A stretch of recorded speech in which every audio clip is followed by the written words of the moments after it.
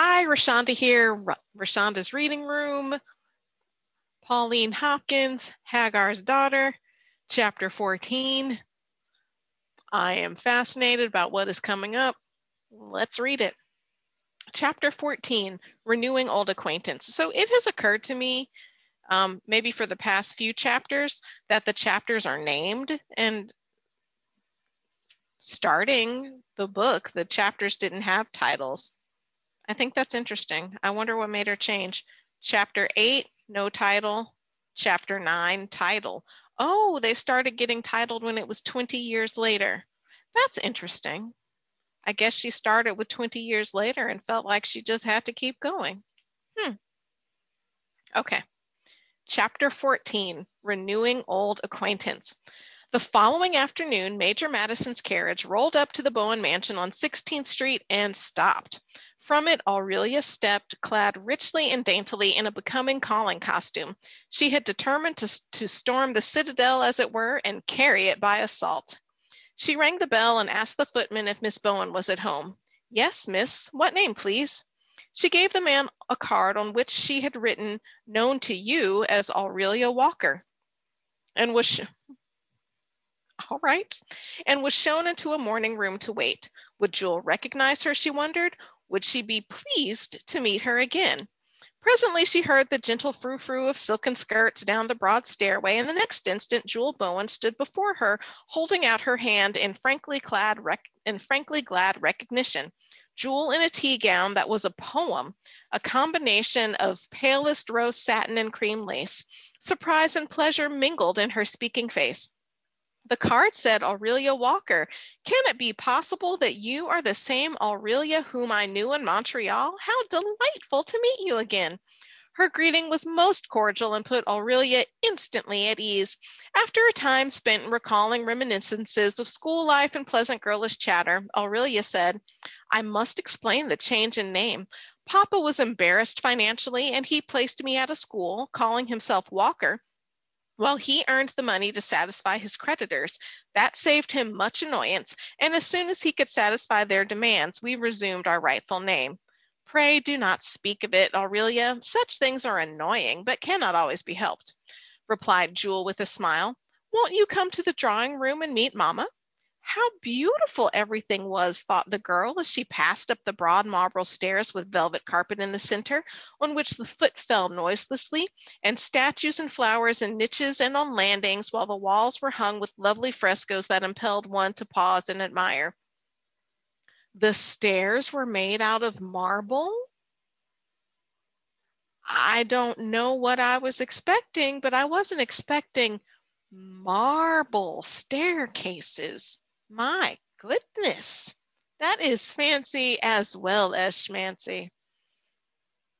The drawing room door was flung open, and they were in a spacious apartment with painted ceiling and all things rich and harmonious in tone.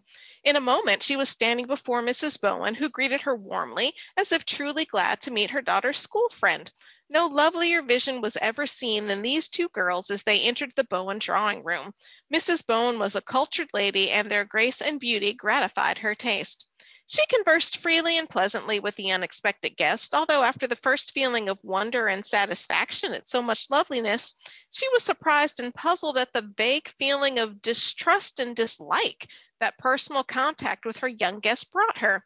It was intangible, she shook it off, however. The beautiful face and voice were so enchanting that she could not resist them and felt ashamed of her distrust. Uh, sometimes you cannot trust things that are beautiful. Sometimes you absolutely can, sometimes you cannot, and you should not automatically distrust things that are not beautiful. Let's keep reading. Come and sit down by the fire and let us have a long chat before anyone else comes in. We never know how long we may be alone, said Jewel, indicating a seat near her own. This is very cozy and homelike, remarked Aurelia as she took the seat offered. I have been so lonely since I came to the city. Poor child, remarked Mrs. Bowen in a sympathetic voice. Are you very much alone? How long since you lost your mother?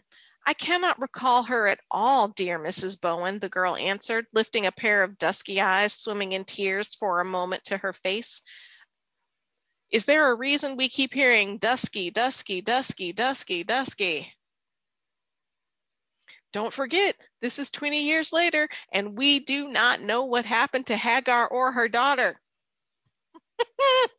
okay. I cannot recall her at all, dear Mrs. Bowen, the girl answered, lifting a pair of dusky eyes swimming in tears for a moment to her face.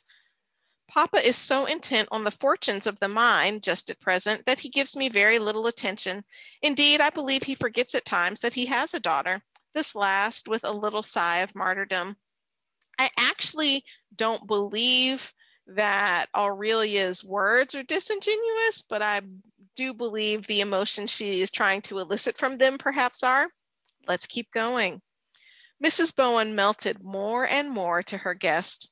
Then stay and dine with us. Let me send away your carriage. She rang the bell and gave the order to the servant. We have a few jolly people coming. Not a dinner party, you know, but just a few friends. I shall be delighted. How kind you are, replied Aurelia, feeling dizzy over her good luck. Thanks, said Jewel, pressing her hand. Here comes tea, and with it, Papa. Senator Bowen welcomed his guest with his usual Western heartiness. By Jove, he thought to himself, she's a stunner.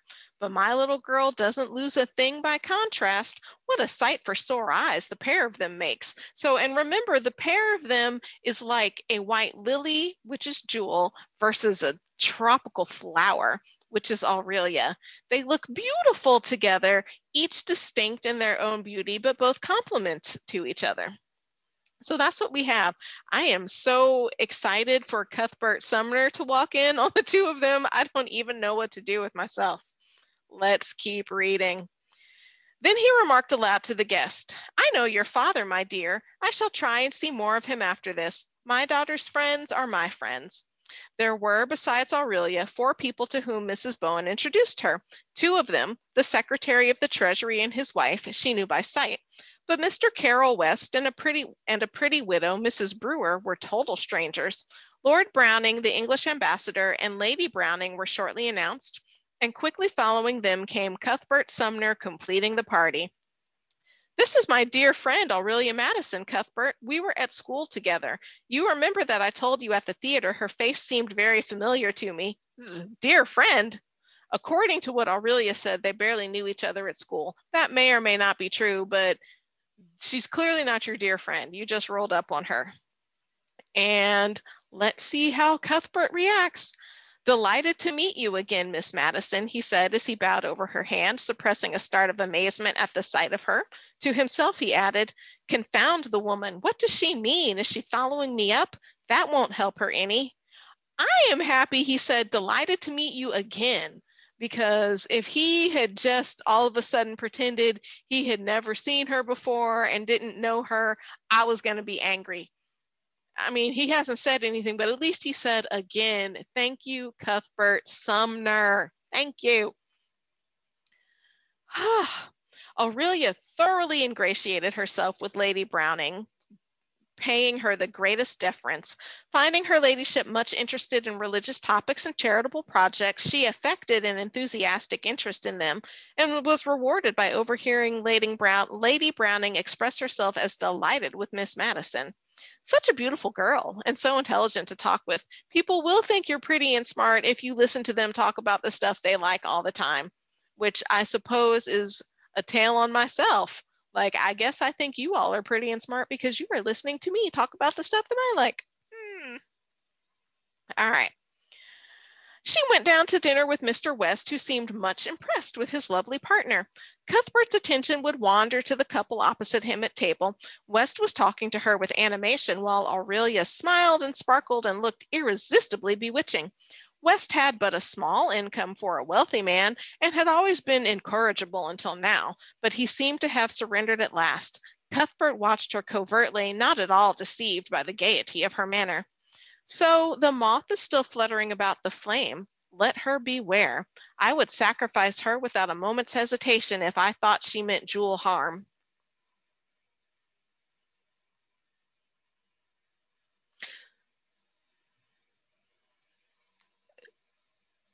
hmm, let's read that again. So this is internal monologue happening for Cuthbert.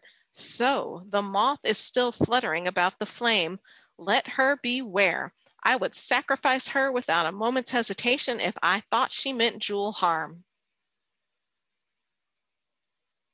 Glad to hear it, intrigued by it. He showed nothing of this outwardly, being as calm, smiling, and well bred as ever, but he was seriously annoyed by the inscrutable conduct of the woman opposite him. It was a vague feeling that he could not grasp, a shadow no larger than a man's hand. Dinner over, the gentlemen did not linger long behind the ladies. Back in the drawing room once more, Mrs. Bowen whispered to her husband, Do ask Miss Madison to play, Zenas. I will when I get a chance. Wes seems to have such a lot to say to her that it would be cruel to spoil sport.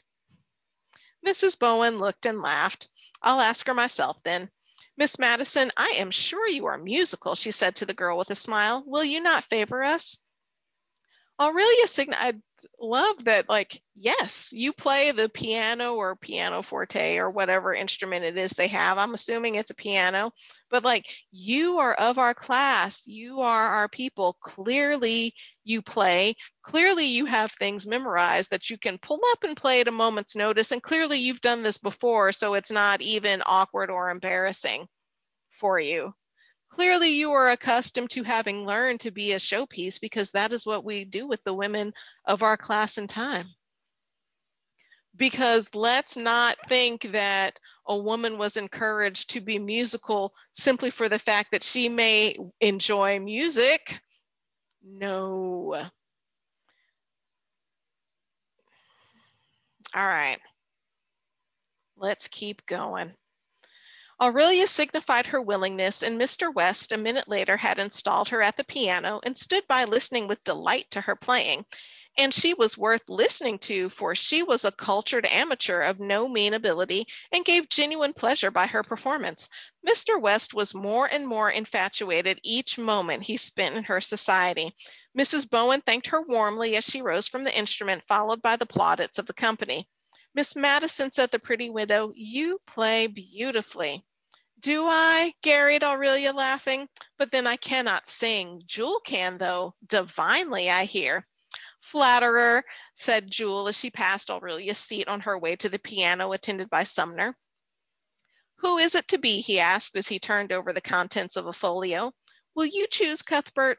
A jealous pang shot through Aurelia's heart as her ear caught the words, but she set her teeth hard. Sumner took from the folio Some Day by Wellington. Always a favorite of mine, you know, he said.